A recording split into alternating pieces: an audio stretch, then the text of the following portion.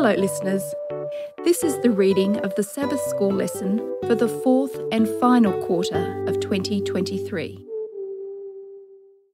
This week's lesson is titled Mission to the Powerful. It's ready for teaching on December 2 and is number 9 in the series God's Mission, Our Mission. Your reader this week is Dr. Percy Harrold. Sabbath afternoon, November 25. Before we start, let's pray. Our Heavenly Father, we once again thank you for your word. We thank you for your Holy Spirit who works through the reading of your word. And as we read your word this week, that we pray that each of us may be blessed, but each of us may see our opportunity to share your love and your grace with those around us. Lord, I'd like to pray for those who are visually impaired, those who have other health problems that make it difficult for them to read, and as they listen this week, may they be truly blessed by your word. I also would like to pray for everyone who's listening, but today particularly for Robert Atkinson and his parents, for Mara Francis and Geronald, for Nasus Snifath and Dalton, Alton and Ian, who are brothers, and for Emma Hernandez in Texas, and also from Texas in Houston and Klein. Lord, I pray you'll bless each of these people, and Sybil Johnson in Jamaica, and her neighbor who has diabetes. Lord, we're reaching out to people wherever we live, and as we study this lesson about reaching out, we pray that your grace will flow from us to those around us. We pray in Jesus' dear name. Amen. Our memory text this week is Matthew 16 and verse 26.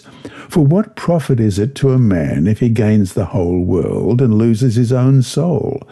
Or what will a man give in exchange for his soul? Let's read that again, Matthew 16, verse 26. For what profit is it to a man if he gains the whole world and loses his own soul? Or what will a man give in exchange for his soul? Though written many years ago, the Bible, the Word of God, is the revelation of God's truth for our world. And among the many truths it reveals is that of human nature, and that whether in 7th century Judea or 21st century Brazil, people are basically the same sinners in need of divine grace. This includes the rich and powerful. The rich and powerful of Bible times were no different from the rich and powerful in modern times, especially in their pursuit of wealth and fame and power, often, but not always, at the expense of the vulnerable. Yet, God is as concerned about the salvation of the rich and the powerful as he is for those of the weak and the needy.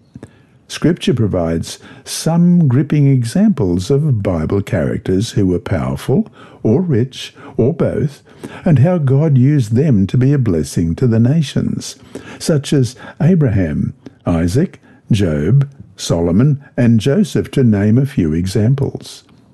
This week, we will explore God's mission to the rich and powerful. Journey with us as we see how God reached some of these people and how He is calling and preparing Seventh day Adventists to be a witness to them today as well.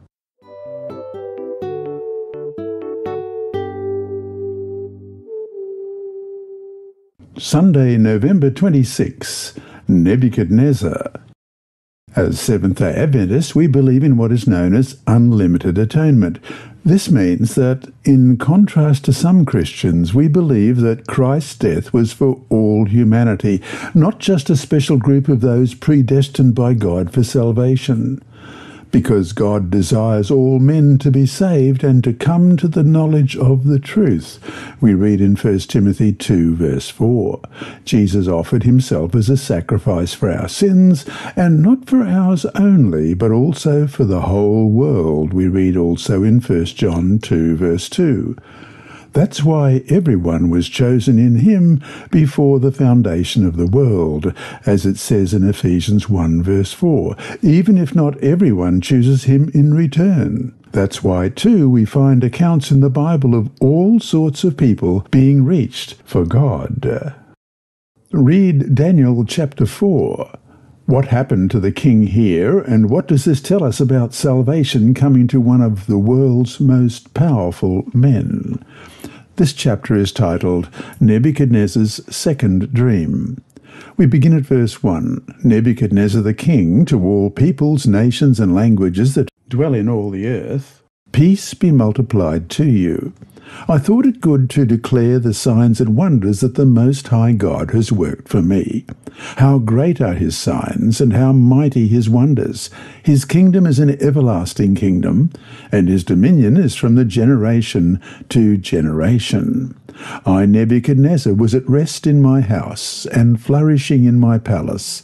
I saw a dream which made me afraid, and the thoughts on my bed and the visions of my head troubled me.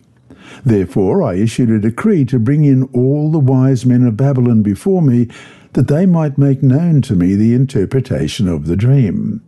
Then the magicians, the astrologers, the Chaldeans, and the soothsayers came in, and I told them the dream, but they did not make known to me its interpretation. But at last Daniel came before me. His name is Belteshazzar, according to the name of my God. In him is the Spirit of the Holy God. And I told the dream before him, saying, Belteshazzar, chief of the magicians, because I know that the Spirit of the Holy God is in you, and no secret troubles you, explain to me the visions of my dream that I have seen, and its interpretation. These were the visions of my head while on my bed. I was looking, and behold, a tree in the midst of the earth, and its height was great. The tree grew and became strong, its height reached to the heavens, and it could be seen to the ends of all the earth. Its leaves were lovely, its fruit abundant, and it was food for all. The beasts of the fields found shade under it. The birds of the heavens dwelt in its branches, and all flesh was fed from it. I saw in the visions of my head while on my bed, and there was a watcher, a holy one, coming down from heaven. He cried aloud and said thus, Chop down the tree and cut off its branches, strip off its leaves and scatter its fruit. Let the beasts get out from under it and the birds from its branches. Nevertheless, leave the stump and roots in the earth, bound with a band of iron and bronze, in the tender grass of the field. Let it be wet with the dew of heaven, and let him graze with the beasts as the grass of the earth. Let his heart be changed from that of a man. Let him be given the heart of a beast, and let seven times pass over him. This decision is by the decree of the watchers, and the sentence by the word of the holy ones, in order that the living may know that the Most High rules in the kingdom of men, gives it to whomever he will, and sets over it the lowest of men. This dream I, Nebuchadnezzar, have seen. Now you, Belteshazzar, declare its interpretation since all the wise men of my kingdom are not able to make known to me the interpretation, but you are able, for the Spirit of the Holy God is in you. Then Daniel, whose name was Belteshazzar, was astonished for a time, and his thoughts troubled him. So the king spoke and said, Belteshazzar, do not let the dream or its interpretation trouble you. Belteshazzar answered and said, My lord, may the dream concern those who hate you, and its interpretation concern your enemies. The tree that you saw, which grew and became strong, whose height reached to the heavens, and which could be seen by all the earth, whose leaves were lovely and its fruit abundant, in which was food for all, under which the beasts of the field dwelt, and in whose branches the birds of the heaven had their home? It is you, O king, who have grown and become strong.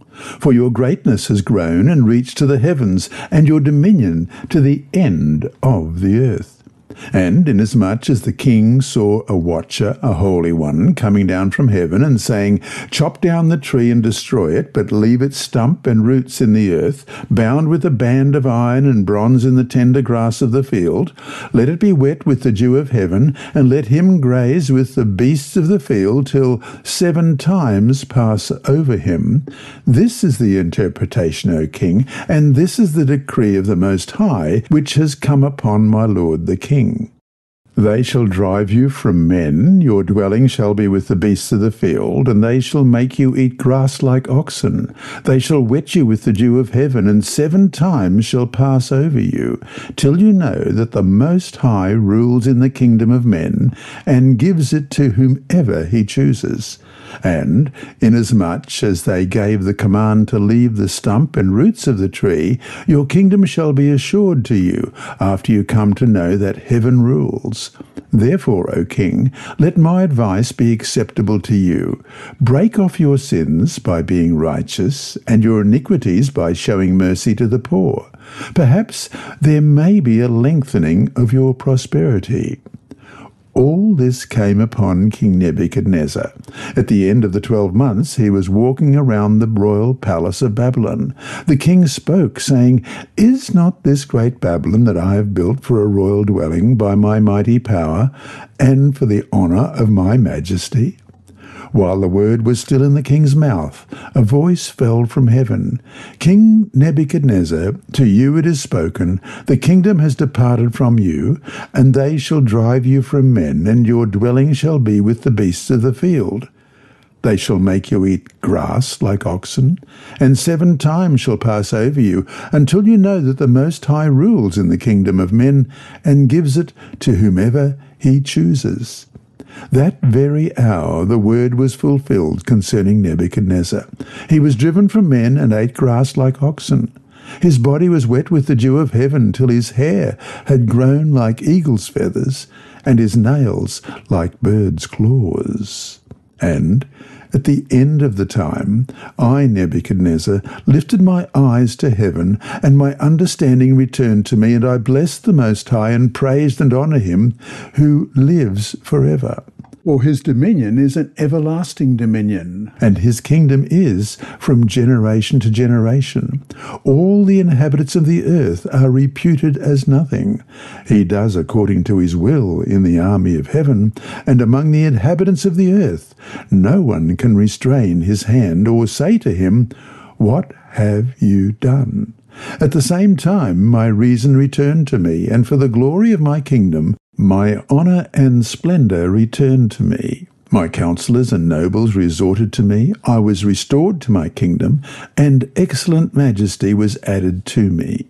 Now I, Nebuchadnezzar, praise and extol and honour the King of heaven, all of whose works are truth, and his ways justice, and those who walk in pride he is able to put down a striking example in the Bible of how God reaches powerful unbelievers is this story of King Nebuchadnezzar.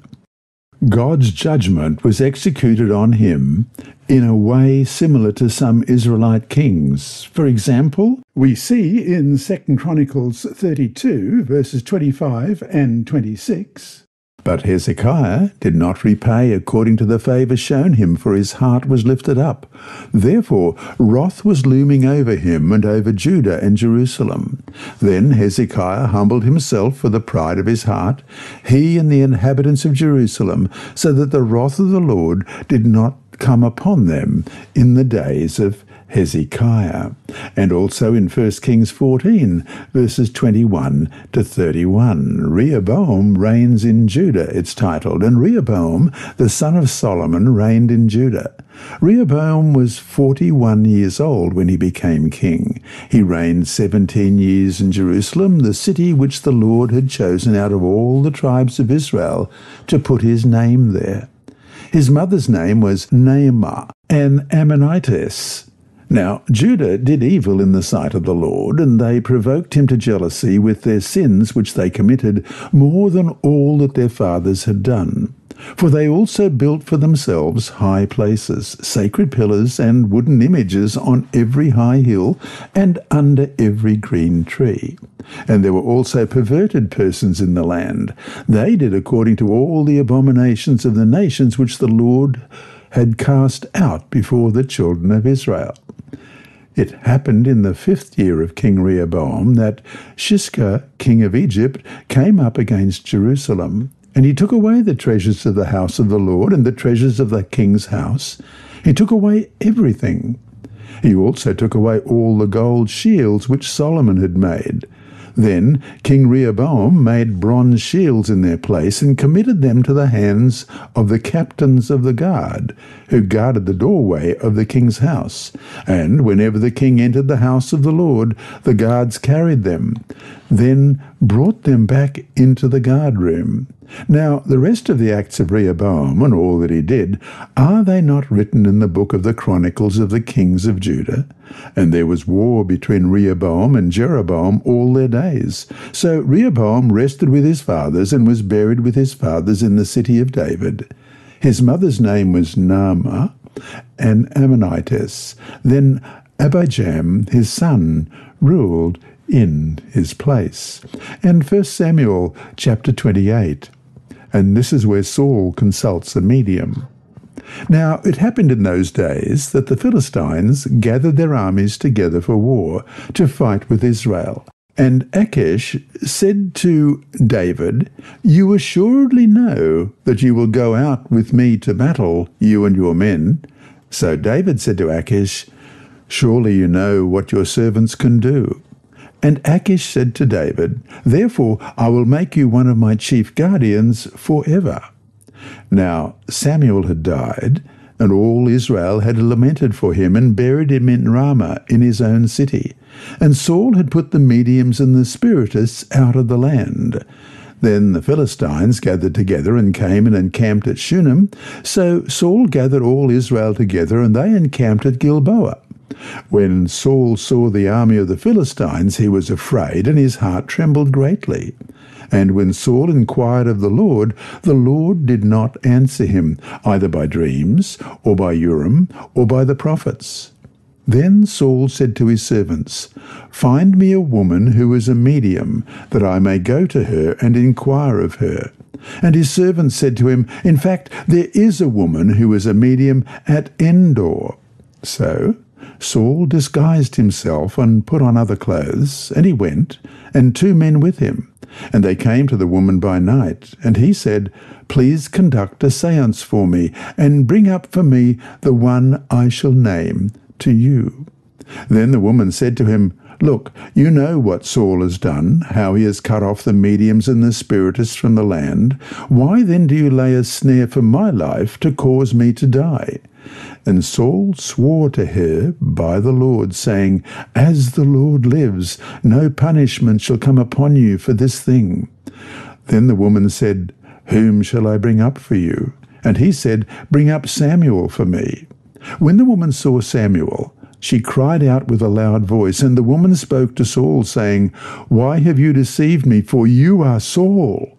And the king said to her, Do not be afraid. What did you see? And the woman said to Saul, I saw a spirit ascending out of the earth. So he said to her, What is his form?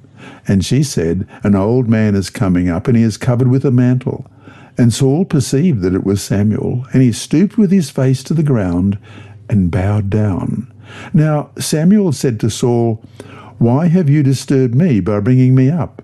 And Saul answered, I am deeply distressed, for the Philistines make war against me, and God has departed from me, and does not answer me any more, neither by prophets nor by dreams. Therefore I have called you, that you may reveal to me what I should do. Then Samuel said, So why do you seek me, seeing the Lord has departed from you and has become your enemy? And the Lord has done for himself as he spoke by me. For the Lord has torn the kingdom out of your hand and given it to your neighbor, David. Because you did not obey the voice of the Lord, nor execute his fierce wrath upon Amalek, therefore the Lord has done this thing to you today. Moreover, the Lord will also deliver Israel with you into the hand of the Philistines, and tomorrow you and your sons will be with me. The Lord will also deliver the army of Israel into the hand of the Philistines. Immediately Saul fell full length on the ground, and was dreadfully afraid because of the words of Samuel. And there was no strength in him, for he had eaten no food all day or all night. And the woman came to Saul and saw that he was severely troubled and said to him, Look, your maidservant has obeyed your voice, and I have put my life in my hands and heeded the words which you spoke to me. Now therefore, please, heed also the voice of your maidservant, and let me set a piece of bread before you, and eat, that you may have strength when you go on your way. But he refused and said, I will not eat. So his servants, together with the woman, urged him, and he heeded their voice. Then he arose from the ground and sat on the bed. Now the woman had a fatted calf in the house, and she hastened to kill it, and she took flour and kneaded it, and baked unleavened bread from it. So she brought it before Saul and his servants, and they ate. Then they arose and went away that night. The biblical account of Nebuchadnezzar, who comes to his senses and acknowledges the Creator God, shows that God cares about the wealthy and powerful, as well as the weak and needy. In verse 37, the most powerful man on the earth declared, Now I, Nebuchadnezzar, praise and extol and honour the King of heaven, all of whose works are truth and his ways justice. And those who walk in pride he is able to put down in Daniel 4:37. If only all the rich and powerful and haughty among us mortal beings understood this truth. What can we learn from this story? First, God uses committed believers such as Daniel as a bridge to reach powerful unbelievers. Second, God can directly intervene in the witnessing process in order to reach powerful unbelievers. Nebuchadnezzar was humbled by God for his pride and arrogance, and, though this was a very dramatic story, there are many other ways in which the rich and powerful and haughty can be brought low. And so, to finish today, even if we are not rich and powerful by the world's standards, why must we be careful to avoid the kind of arrogance that this king had manifested? Why might that attitude be easier to have than we might think?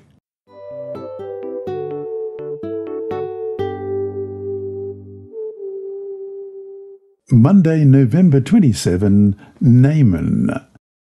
Christ died for all, regardless of their background, wealth, ethnicity, or status. God ceaselessly draws all humanity to himself, including those individuals classed among the powerful non-Christians of the world. As you read in Ellen White's comments in the Acts of the Apostles, page 416, few realize the full meaning of the words that Christ spoke when, in the synagogue at Nazareth, he announced himself himself as the Anointed One. He declared his mission to comfort, bless, and save the sorrowing and the sinful, and then, seeing that pride and unbelief controlled the hearts of his hearers, he reminded them that in time past God had turned away from his chosen people because of their unbelief and rebellion, and had manifested himself to those in heathen lands who had not rejected the light of heaven. The widow of Sarepta and Naaman the Syrian had lived up to all the light they had. Hence, they were accounted more righteous than God's chosen people who had backslidden from him and had sacrificed principle to convenience and worldly honour. Read 2 Kings chapter 5 verses 1 to 19. What can we take from this story about reaching people for the Lord? And this one is titled Naaman's leprosy healed. We begin in chapter 5 of 2 Kings at verse 1. Now Naaman, commander of the army of the king of Syria, was a great and honourable man in the eyes of his master, because by him the Lord had given victory to Syria. He was also a mighty man of valour, but a leper. And the Syrians had gone out on raids and had brought back captive a young girl from the land of Israel. She waited on Naaman's wife. Then she said to her mistress, If only my master were with the prophet who is in Samaria, for he would heal him of his leprosy. And Naaman went in and told his master, saying, Thus and thus said the girl who was from the land of Israel. Then the king of Syria said, Go now, and I will send a letter to the king of Israel. So he departed and took with him ten talents of silver, six thousand shekels of gold, and ten changes of clothing. Then he brought the letter to the king of Israel, which said, Now be advised, when this letter comes to you, that I have sent Naaman my servant to you, that you may heal him of his leprosy. And it happened, when the king of Israel read the letter, that he tore his clothes and said, Am I God to kill and make alive, that this man sends a man to me to heal of his leprosy? Therefore, please consider and see how he seeks a quarrel with me. So it was, when Elisha, the man of God, heard that the king of Israel had torn his clothes, that he went to the king, saying, Why have you torn your clothes? Please let him come to me, and he shall know that there is a prophet in Israel. Then Naaman went with his horses and chariot, and he stood at the door of Elisha's house. And Elisha sent a messenger to him, saying, Go and wash in the Jordan seven times, and your flesh shall be restored to you, and you shall be clean.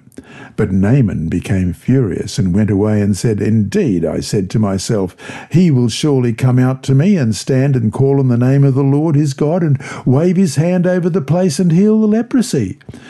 Are not the Abana and the Pharpar, the rivers of Damascus, better than all the waters of Israel? Could I not wash in them and be clean? So he turned and went away in a rage. And his servants came back and spoke to him and said, My father, if the prophet had told you to do something great, would you have not done it? How much more then, when he says to you, Wash and be clean? So he went down and dipped seven times in the Jordan, according to the saying of the man of God. And his flesh was restored like the flesh of a little child, and he was clean. And he returned to the man of God, he and his aides, and came and stood before him and said, Indeed, I now know that there is no God in all the earth except in Israel. Now, therefore, please take a gift from your servant. But he said, as the Lord lives, before whom I stand, I will receive nothing. And he urged him to take it, but he refused. So Naaman said, Then, if not, please let your servant be given two mule loads of earth, for your servant will no longer offer either burnt offering or sacrifice to other gods, but to the Lord. Yet in this thing may the Lord pardon your servant, who, when my master goes into the temple of Rimmon to worship there, and he leans on my hand, and I bow down in the temple of Rimmon. When I bow down in the temple of Rimmon, may the Lord please pardon your servant in this thing. Then he said, Go in peace. So he departed with him a short distance. In 2 Kings chapter 5, 17 to 19, Naaman made two unusual requests after God healed him of leprosy. First, he asked to take two mule loads of earth from Israel back to Syria for the purpose of worshipping the living God. He states, For your servant will no longer offer burnt offerings or sacrifice to the other gods, but to the Lord. Though Naaman is clearly now a believer in the only true God, his first request shows that pagan influences still held sway over his thinking to a degree. The Syrian commander regarded the God of Israel as a divinity who must be venerated on soil native to that land. Although Naaman acknowledged the reality that there was no God aside from the Lord of Israel, he had not wholly dispossessed himself of the notion that God was, by some particular means, connected to the land of Israel. Thus, in his own country, he desired to worship God on Israelite soil. Naaman's second petition shows the sincerity of his faith. While he resolved to serve only the God of heaven, he realized carrying out such a resolution in his own idolatrous country wouldn't be easy. Moreover, the king of Syria still worshipped the god of Rimmon, and in his occupation Naaman would serve as the king's escort. While Naaman had no intention of forsaking his duties to his earthly king, he did not wish to be deemed as bowing in worship to Rimmon. Having surrendered his heart to Jehovah, Naaman desired not to make any concessions to idolatry by worshipping the heathen god. Nor did he want word to get back to Elisha that he was doing so. Elisha responded to Naaman's entreaty by saying, Go in peace, in verse 19. In the Seventh day Adventist Bible Commentary, Volume 2, page 878, we read, These words must not be thought of as either expressing approval or disapproval of Naaman's parting request. He was to depart in peace, not in doubt or restless uncertainty. God had been kind to him, and he was to find happiness and peace in his knowledge and worship of God. Naaman was a new convert, a man with conscientious scruples who would grow in strength and wisdom if he clung to his newfound faith.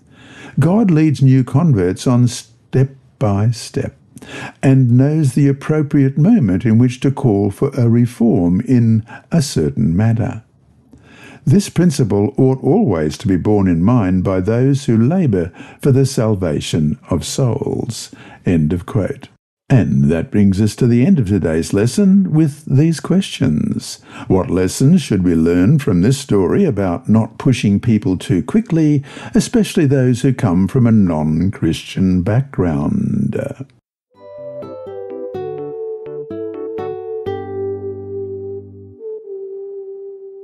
Tuesday, November 28, witnessing to the learned Nicodemus. Nicodemus was a learned man. The Bible describes him as a ruler of the Jews in John chapter 3 verse 1. Jesus referred to him as a teacher of Israel in John 3 verse 10. He had a good understanding of the Bible and had a spiritual hunger for the Lord. From a human perspective, he may have looked as though he were a follower of God. He kept all the commandments, and he was a respected leader among the Jews. He was powerful and wealthy, Many looked at these as signs that God had blessed him. Nevertheless, it turns out that the surface appearances were only that surface appearances. Read John chapter 3, verses 1 to 12. What does this story reveal about Nicodemus's spiritual needs and how Jesus addressed them right away? John chapter 3, beginning at verse 1. There was a man of the Pharisees named Nicodemus, a ruler of the Jews. This man came to Jesus by night and said to him, Rabbi, we know that you are a teacher come from God, for no one can do these signs that you do unless God is with him. Jesus answered and said to him, Most assuredly I say to you, unless one is born again, he cannot see the kingdom of God. Nicodemus said to him, How can a man be born when he is old? Can he enter a second time into his mother's womb and be born? Jesus answered, Most assuredly I say to you, unless one is born of water and the Spirit, he cannot enter the kingdom of God. That which is born of the flesh is flesh, and that which is born of the Spirit is spirit. Do not marvel that I said to you, You must be born again. The wind blows where it wishes, and you hear the sound of it, but cannot tell where it comes from and where it goes. So is everyone who is born of the Spirit. Nicodemus answered and said to him, How can these things be? Jesus answered and said to him, Are you the teacher of Israel, and do not know these things? Most assuredly I say to you, we speak what we know and testify what we have seen, and you do not receive our witness. If I have told you earthly things and you do not believe, how will you believe if I tell you heavenly things? When Nicodemus came to Jesus, he tried to maintain the facade, the status quo. But God knew his heart. Similarly, God knows the hearts and needs of all the rich and powerful, whatever their background. Nicodemus came to Jesus because Jesus' teachings had convicted him. His pride kept him from openly confessing Jesus Christ as Lord, but that night changed him forever. Even after his conviction that Jesus was sent of God, he still did not openly acknowledge that he was a follower of Jesus Christ. Read John chapter 7 verses 43 to 52 and John 19 verse 39. What do these texts tell us about Nicodemus and Jesus? John 7 beginning at verse 43. So there was a division among the people because of him. Now some of them wanted to take him, but no one laid hands on him. Then The officers came to the chief priests and Pharisees, who said to them, Why have you not brought him? The officers answered, No man ever spake like this man. Then the Pharisees answered them, Are you also deceived? Have any of the rulers of the Pharisees believed in him? But this crowd that does not know the law is accursed. Nicodemus, who had come to Jesus by night, being one of them, said to them, Does our law judge a man before it hears him and knows what he is doing?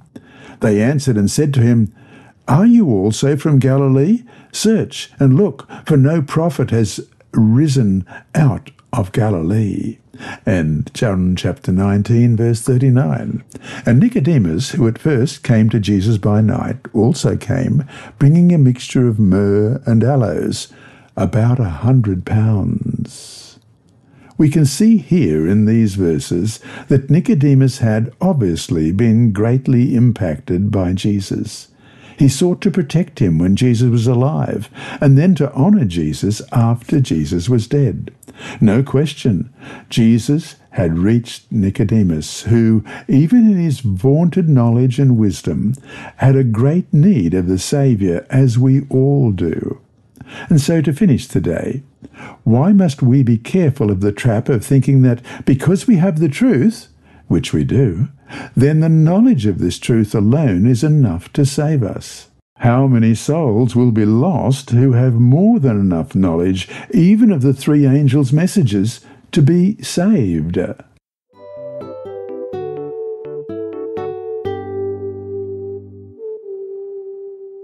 Wednesday, November 29, Mission to the Rich. Read Matthew chapter 19, verses 16 to 24.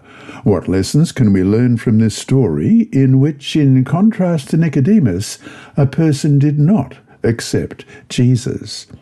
Matthew 19, beginning at verse 16.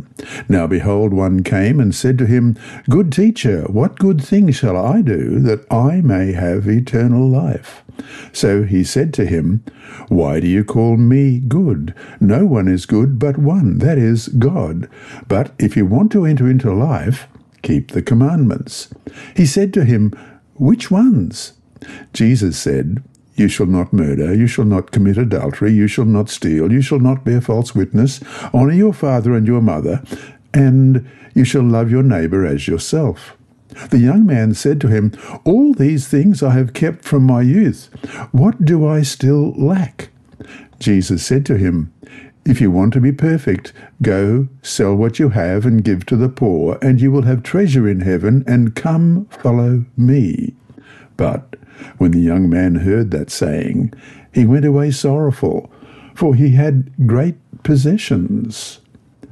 Jesus' interaction with the rich young ruler shows just how dangerous a trap wealth can be. Look at these words in Matthew 19:24, and again I say to you, it is easier for a camel to go through the eye of a needle than for a rich man to enter the kingdom of God. This, of course, does not mean the rich cannot be saved, but only that if these people are not careful, their riches can truly be an impediment to salvation. In the end, the rich and the poor face the same fate, the grave. This means that the rich are in as desperate need of salvation as is anyone else. Whatever else money can buy, it cannot buy an exemption from death. That exemption comes only as a gift, offered freely by Jesus to whomever will claim it by faith. John 11:25 says, "I am the resurrection and the life. He who believes in me, though he may die, he shall live." Read Luke 19, 1 to 10. What made the difference in this story in contrast to the one about the rich young ruler? Well, let's go to Luke 19 and we'll begin at verse 1. Then Jesus entered and passed through Jericho. Now, behold, there was a man named Zacchaeus who was a tax collector, a chief tax collector, and he was rich. And he sought to see who Jesus was, but could not because of the crowd, for he was of short stature. So he ran ahead and climbed up into a sycamore tree to see him, for he was going to pass that way. And when Jesus came to the place, he looked up and saw him and said to him, Zacchaeus, make haste and come down, for today I must stay at your house. So he made haste and came down and received him joyfully. But when they saw it, they all complained, saying, He is gone to be a guest with a man who is a sinner. Then Zacchaeus stood and said to the Lord, Look, Lord, I give half of my goods to the poor, and if I have taken anything from anyone by false accusation, I restore fourfold. And Jesus said to him, Today salvation has come to this house, because he also is a son of Abraham. For the Son of Man has come to seek and to save that which was lost.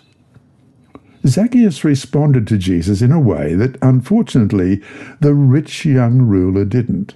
Notice, Jesus didn't tell Zacchaeus to sell what he had and give to the poor as he did to the rich young ruler.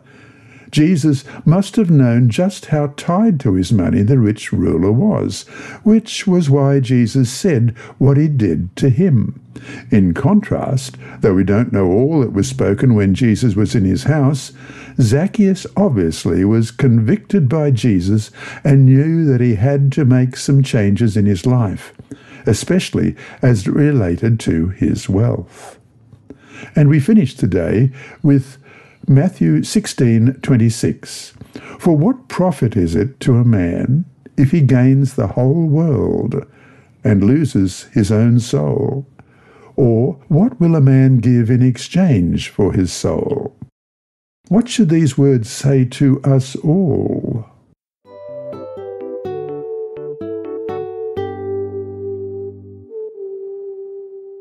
Thursday, November 30. Mission to the Powerful.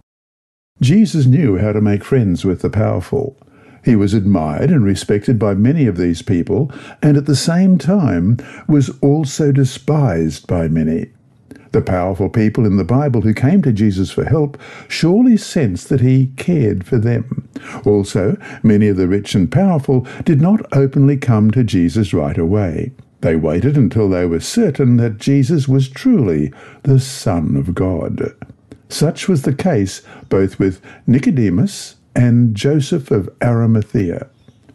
Read Matthew 25, verses 57 to 60. Also look at Mark 15, Luke 23, and John 19. What does this account tell us about how the Lord used a rich man who clearly had been impacted by Jesus? First of all, Matthew 27, beginning at verse 57. Now, when evening had come, there came a rich man from Arimathea named Joseph, who himself had also become a disciple of Jesus. This man went to Pilate and asked for the body of Jesus. Then Pilate commanded the body to be given to him. When Joseph had taken the body, he wrapped it in a clean linen cloth and laid it in his new tomb, which he had hewn out of the rock. And he rolled a large stone against the door of the tomb and departed.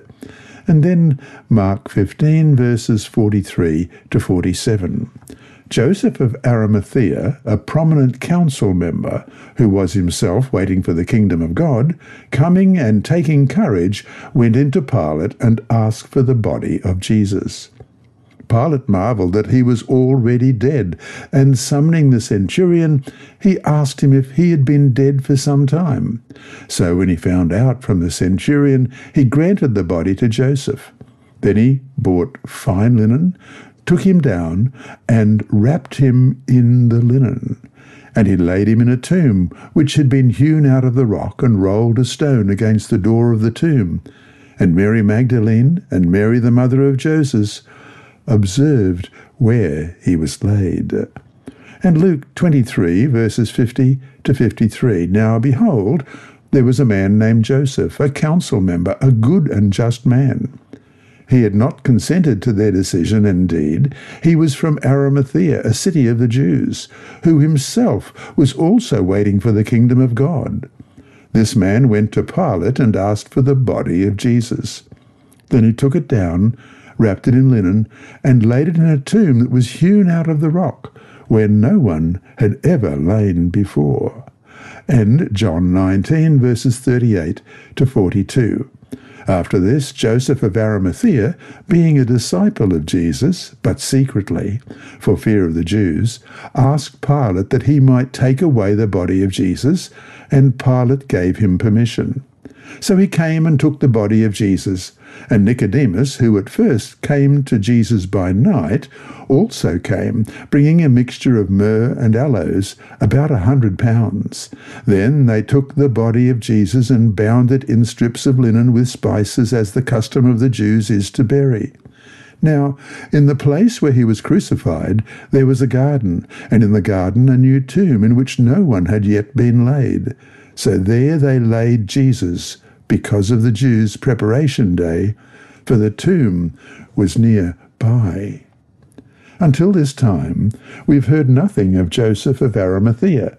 Suddenly, this rich man appears, almost out of nowhere, and is used to help fulfill prophecy. God had used and will continue to use the rich for his purposes. Hence, we must have a mission to them as well. Where to begin can be one of the most difficult phases in making friends with powerful people. In general, it is better not to pursue them. Let them come to you. Jesus did this. They became a witness to his message, healing and power from God. They were convinced behind the scenes that he is truly the Son of God. Powerful people will seek to partner with genuine ministry for a number of reasons. They want to be part of something good that is changing the lives of people. This is one way they know that it can also change their lives. It provides a subtle way for the rich and powerful to get the help they need without publicly disclosing their needs. The second phase is to begin a genuine ministry as an avenue for the rich and powerful to be part of God's ministry. Take some time to invest in the lives of the rich and powerful in your society. And that brings us to close the day with challenge. Add someone to your daily prayer list who is in a position of power, is not a believer, and is someone you could come in contact with from time to time. And challenge up. Address a letter or email to someone in a position of power, even if it is someone you may never have met, and tell that person that you are praying for him or her.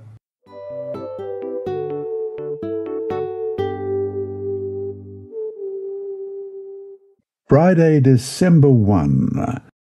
Jesus' love is the same for the poor as it is for the rich and powerful people in the world. He died for the princes as well as for paupers. Jesus knew the most effective way of reaching their hearts. He warned us that it is easier for a camel to go through the eye of a needle than for someone who is rich to enter the kingdom of God in Mark 10:25 we are challenged this week to reach powerful and wealthy individuals with the gospel of Jesus Christ.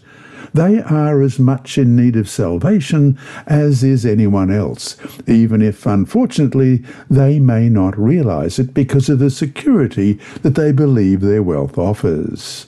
From Ministry of Healing, page 210, we read Much is said concerning our duty to the neglected poor. Should not some attention be given to the neglected rich? Many look upon this class as hopeless. Thousands of wealthy men have gone to their graves unwarned, but indifferent as they may appear, many among the rich are soul burdened. End of quote. And that brings us to our four discussion questions for this week.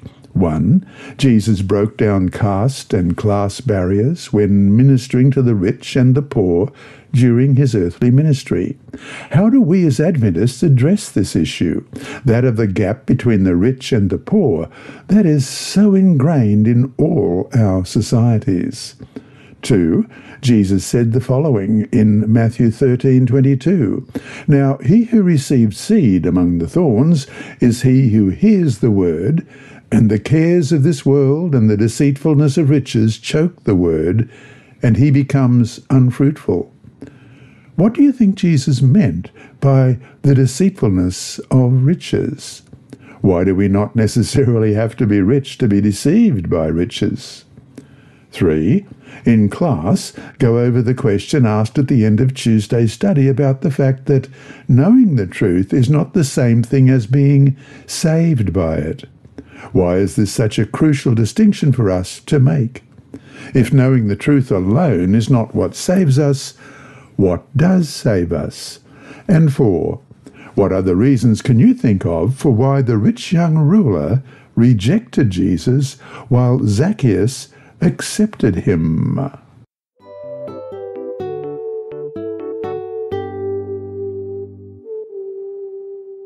Mission Path to Spain, Part 3 by Andrew McChesney. Pastor Louis Paver miraculously received 1,000 US dollars to pay off a debt leading him to believe that God's will was for him, his wife, and their three children to leave Venezuela. But they didn't have any savings. Lord, how do I leave with no savings? he prayed. At home, his wife said a pastor in the United States had called, wanting to speak with him. The pastor was looking for a volunteer missionary to work for a year in an area of Mexico without a Seventh day Adventist presence. Louis went to Mexico, and his wife and children joined him two months later. Over the next eight months, 35 people were baptized through Louis' efforts. One new member donated a building and a new church was opened. But the authorities denied Louis a visa to stay in Mexico. He seemed to only have two options move to the United States illegally or stay in Mexico illegally. He didn't want to live anywhere illegally. Louis had become acquainted with a regional immigration official. When the official heard about Louis' situation, he promised not to deport him. Louis believed him, but he believed God even more when God said, Do not put your trust in princes, in human beings who cannot save. From Psalm 146, verse 3. Worried, Louis prayed. He also made phone calls to the United States and Canada seeking legal advice on leaving Mexico. Only two churches replied an Adventist church and another church, both in Canada. But Louis remained in Mexico. Then a church member visited his home. What's your biggest fear? the man asked. I don't want to live illegally in Mexico, and I don't want to travel illegally to the United States, Louis replied. I also don't want to return to my country. If you had the money, what would you do right now? the man asked. I would buy a plane ticket to fly to Spain, Louis said. Louis had a same age aunt who had immigrated to Spain twenty years earlier. If he moved, he would have a family member nearby. Also, he had visited Spain three years earlier and felt comfortable there. After listening to Louis, the church member said, So, let's buy the tickets and have you fly to Spain. After buying plane tickets for Louis and his family, he told Louis not to worry. God is with you and is leading you, he said. Today, Louis and his wife are missionaries in Spain. Thank you for your Sabbath School mission offering that helps support missionaries around the world. Next week, we will read about how Louis left a fruit stand to become a missionary. You have been listening to a reading of the Adult Sabbath School lessons by Dr. Percy Harrold and the inside story by his niece Sybilla. Apart from being provided free to those who are visually impaired, these audio lessons are available on the official General Conference Sabbath School and Personal Ministry app, on SoundCloud, Apple iTunes, and also on YouTube. Search for Percy Harrold Sabbath to find all of these. And remembering all the time that God is always faithful.